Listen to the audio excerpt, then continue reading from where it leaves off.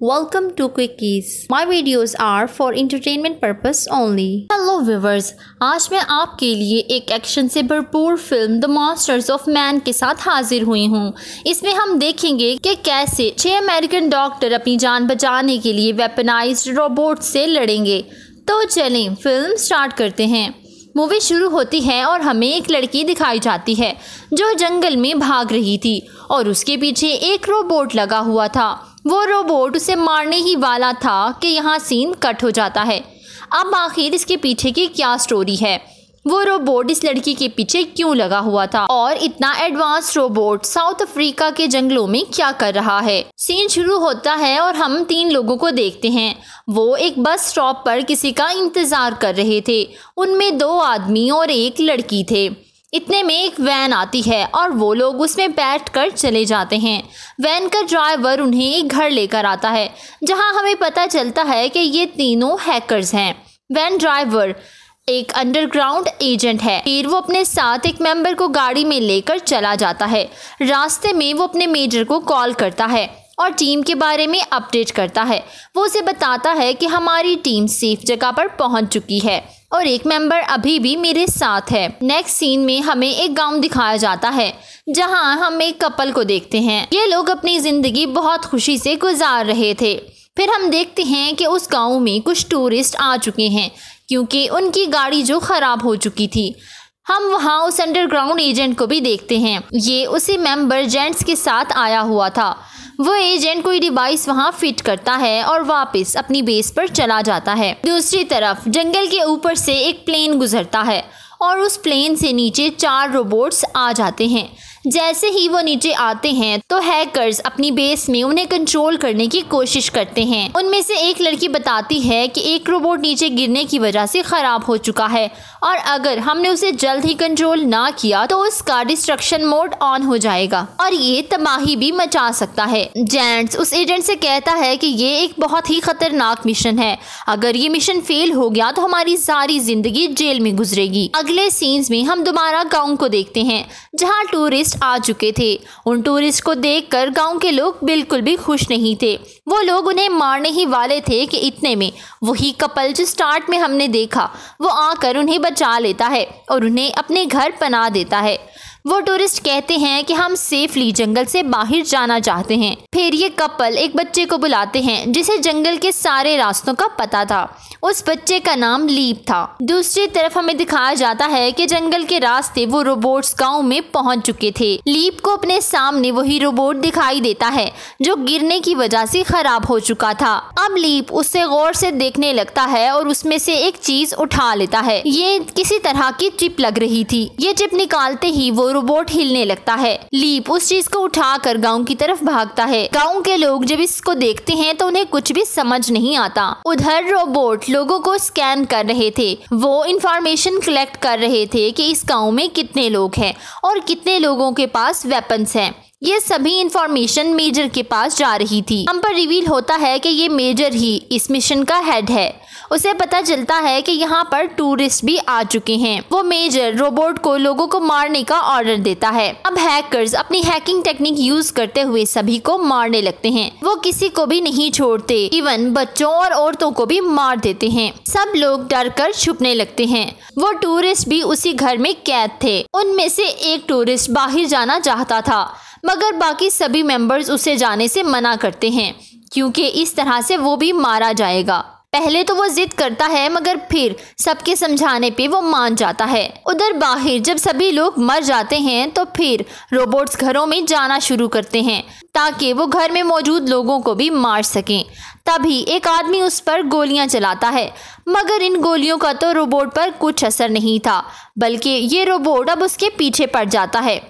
इतने में एक घर से उस पर गोलियाँ चल रही थी।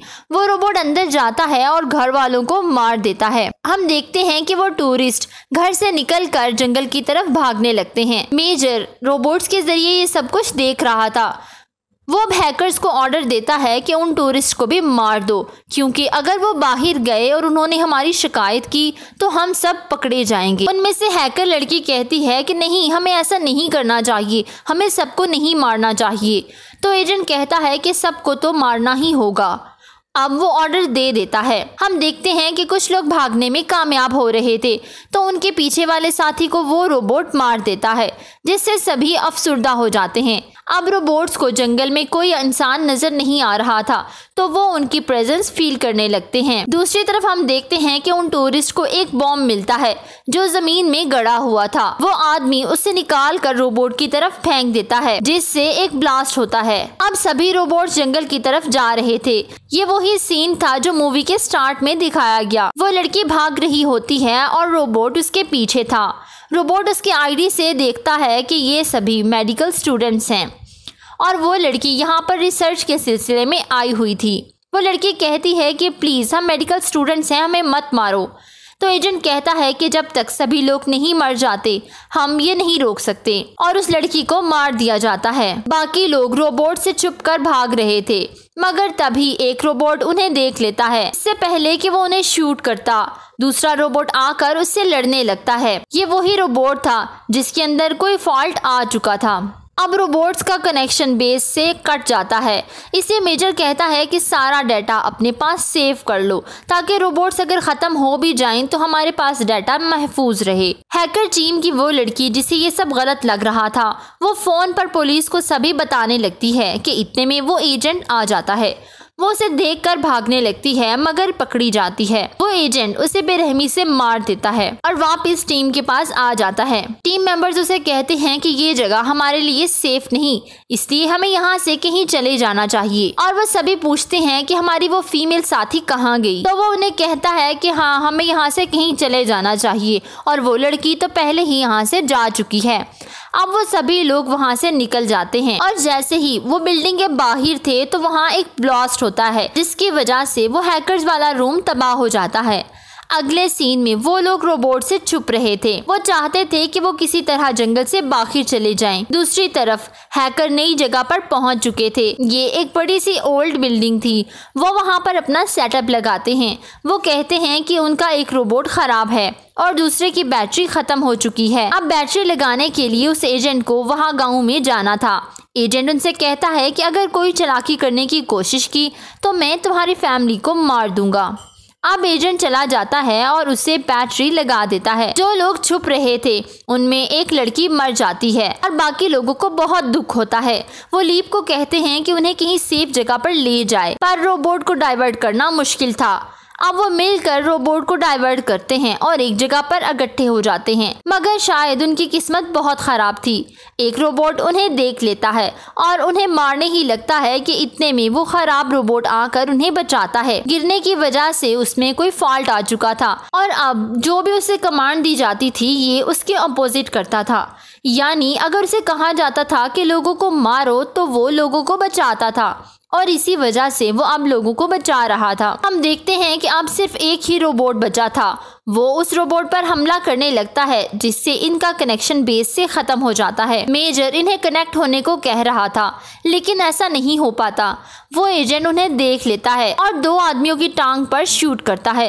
वो लोग उस एजेंट की तरफ़ बॉम्ब फेंकते हैं, जिससे वो जख्मी हो जाता है, मगर फिर वो दोबारा उठ जाता है। अब वो रोबोट को अपने गन की मदद से बंद कर देता है। तो रोबोट उसे कहता है कि इंसानों की जान रोबोट की जान से ज़्यादा कीमती है। इसके साथ ही एक बॉम्ब ब्लास्ट हो जाता है। मेजर को पता चलता है कि वहाँ सब कुछ ख़त्म हो गया है। फिर वो उस जगह पर भी ब्लास्ट कर देता है, जहाँ उसकी हैकर टीम थी। और सारा डाटा भी इसके साथ ही ख़त्म हो जाता है। लास्ट सीन में हम देखते हैं कि मेजर के पास एक अननोन नंबर से कॉल आती है। वहाँ एक आदमी उसे कहता है कि गाँव तुम्हारे एक्सपेरिमेंट की वजह से ख़त्म हो गया है और हमारे पास सभी सबूत मौजूद हैं। मेजर ये सुनकर बहुत ज़्यादा घबरा जाता है। और इसके साथ ही मूवी एंड हो जाती है। Please don't forget to subscribe follow my social handles thank you for watching